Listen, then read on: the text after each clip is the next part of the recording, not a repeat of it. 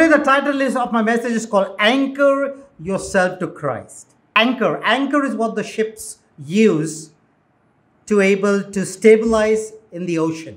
Our life is like a ship in the ocean. A ship in the ocean faces many challenges storms, cyclones, hurricanes.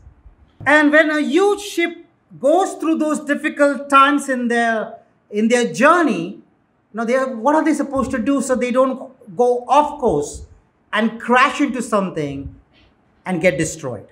They drop down the anchor into the ocean bed and the anchor gets attached to the, the ocean bed and it stabilizes the ship during the storm. Now, storm represents the events in our lives, circumstances, things happening in your life. You can't help it, nor can you avoid it. Now, the sea represents where you live. That's your life in this world on earth. Now, the boat represents you.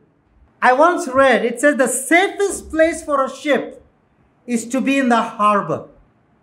But that is not what the ship is built for. In the same way, you know, you and me are created not just to survive, but to thrive. So, as you, as a boat in the sea, faces the storm, what are you supposed to do? We all need an anchor. Why? Because, you know, we are on the sea of life and things causes our life to go up and down. Life is subject to tides. You have high tides and low tides. We have storms. Some storms can be predicted, but some storm cannot be predicted. They just come without you realizing. Then you have waves, big ones and small ones that comes crashing into your life. And then you have other crazy boats around you that come very close to you or they hit you and they rock your boat. They mess up your life. No fault of yours.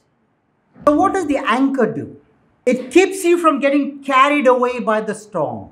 Now, it doesn't keep the storm from coming, but it keeps you from being carried away by the storm. When the storm comes, when the waves hit our lives, you know, the anchor is supposed to keep us firm so that we are not dislocated. Again, it doesn't keep you from experiencing the turmoils and the turbulences. How many of you have ever taken a trip on the sea, on the in a boat, whether it's a small boat or a big boat? How many of you have taken? Okay. How many of you have gone on river rafting? Which is more fun, the river rafting or the boat? Why is it fun? Huh? See, if it just goes smoothly, it's no fun. It is because of the waves and the rocks, and then it hits you, and you go, and sometimes you fall out. That's the fun of it. You know, think about your life. The incident that happened in your life. Do you just remember all the normal things, the boring things, the usual things? Or do you remember amazing things? Things that have gone off track, things that has taken you on an edge.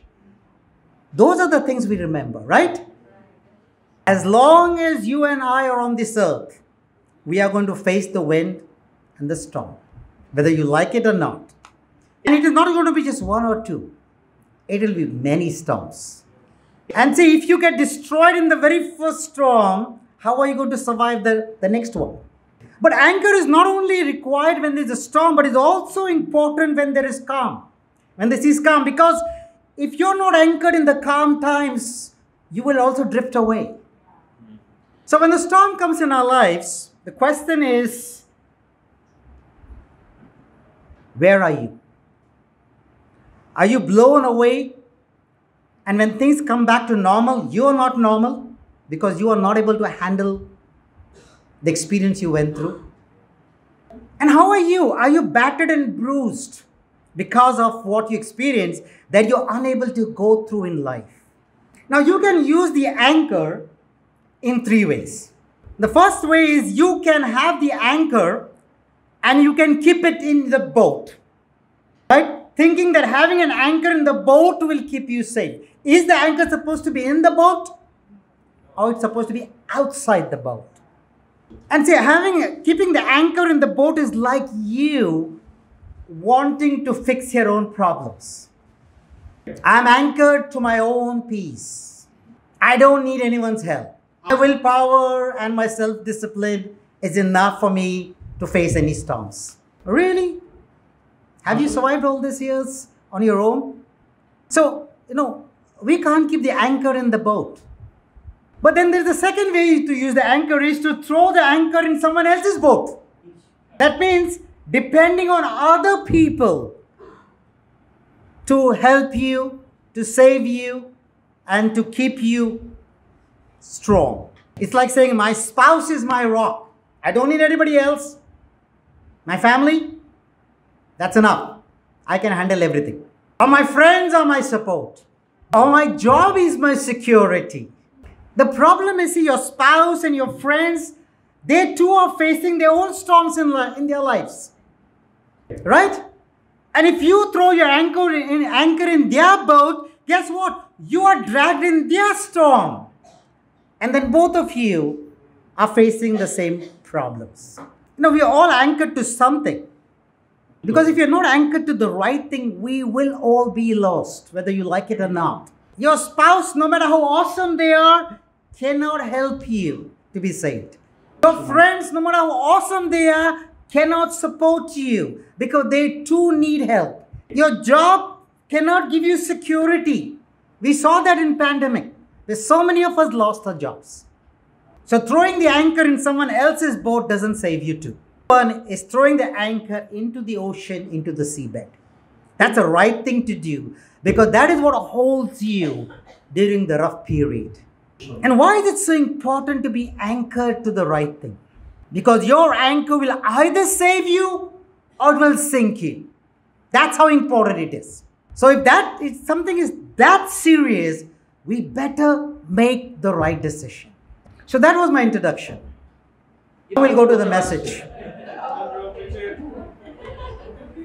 So let's turn to John chapter 16, verse 33. Who should we be anchored to? Now, what did you focus on this passage carefully.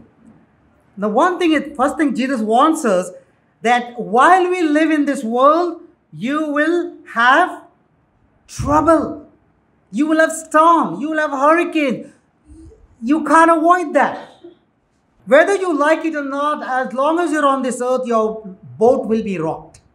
Even if you believe in Jesus or you don't believe in Jesus, even then also, your boat will be rocked. But what is the solution Jesus gives over here? He says that I, that, you know, uh, I told you this thing that you may have peace in this world. He says, I want to give you peace. Why? Because Jesus says, I have overcome the world. See, because Jesus also had his own storm he had to face. Because he was anchored to his Father throughout his time, he was able to be victorious on the cross. He was raised from the dead. He was survived a hurricane or a storm can help you to survive. So what Jesus is saying is, hey, be anchored to me. Because I have overcome the world, I can help you to survive the turmoils in your life. And what kind of an anchor is Jesus? Look in Hebrews 6, 19 and 20. So in verse 19, Jesus it says that what kind of an anchor Jesus is? Firm and secure. That means Jesus is not, he might save you, he has a possibility that he can save you. He may save you. No. If we are anchored to him, we are guaranteed to be saved. Let's look in Matthew chapter 7 and see another uh, example about what it means to be anchored. How can we do that? In Matthew 7 24 to 27, I'll read this. Therefore, everyone who hears these words of mine and puts them into practice is like a wise man who built his house on the rock. The rain came down, the stream rose, the winds blew and beat against that house, yet it did not fall, because it had its foundation on the rock.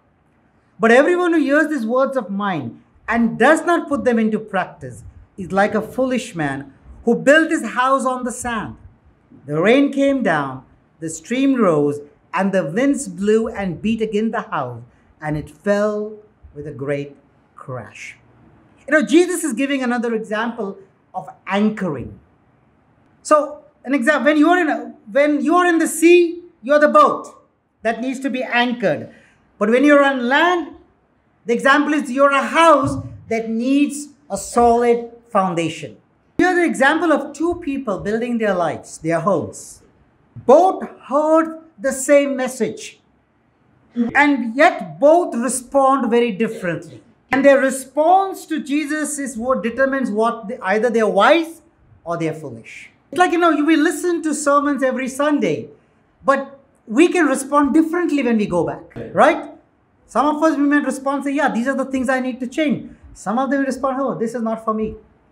So the wise man, the Bible says, Jesus says, heard and obeyed. Because he built his house on the rock, he's compared as a wise man. He's called a wise man. The foolish man heard the same message, but went and did whatever he wanted to do, lived his life his way, on his own terms and conditions. So he's compared to the one who built his house on the sand. Now, now building the house on the rock is not easy. Hard work, expensive, time consuming. But isn't that how it is even when obeying Jesus? It is not easy, right? It's expensive because some most of the time it costs you something to sacrifice, to give up. And it's time consuming because many times you don't even see the results. You don't see the fruit the way you want it to be. Or like the foolish man, you can take the easy way. Building a house on the sand. Easy, quick, cheap. Like, you know, I'm sure you must have gone to the beach when you were small, maybe, and remember you built a, a, a sandcastle or you wrote names or something like that. How long did it last? The wave came and boom, it's gone. That is what happens when we try to take an easy way out to live our lives. You know, building a house on the sand is like going by your feelings, emotions. Whatever you feel like doing, whether it's right or wrong, I feel like doing it, let me do it. If it makes everybody happy, let me do it. Because everybody is doing it, majority of people are doing it, that's easy to go with the flow. Whether it's right or wrong, who cares? If so many people are doing it, they all can't be wrong. The question is when the rain comes, the stream rises, and wind blows against what you have built, will it stand strong or will it fall with a great crash? That's the question. So, whether your boat is in the ocean, whether your life is a boat in the ocean, or whether it's a house on the land, you will face storms and hurricanes. You can't avoid that. And you're going to face storms, not one, two, many. I want to end with this passage Matthew chapter 16, verse 15 to 18. Once again, to re emphasize who should we be anchored to? What should be the foundation of our life? Now, this passage, you know, different people were talking about who Jesus was. Some said he was a rabbi, a hmm. prophet, a teacher. And so Jesus specifically asking Peter, Peter, what about you? Who do you say I am? And here we see Jesus, Peter acknowledging that you are the Messiah, the Son of a living God. That basically what Peter is saying, you know, there is no one else to be saved except through you. You are the Savior. Messiah means Savior.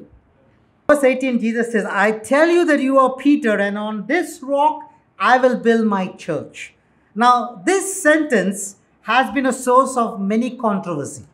Claim that this statement of Jesus means that Peter is the head of the church, and thus Peter was the first pope. So when, when, when it says on this rock, you know what it refers to is not Peter. It refers to Peter's statement is verse 16. And what is that statement?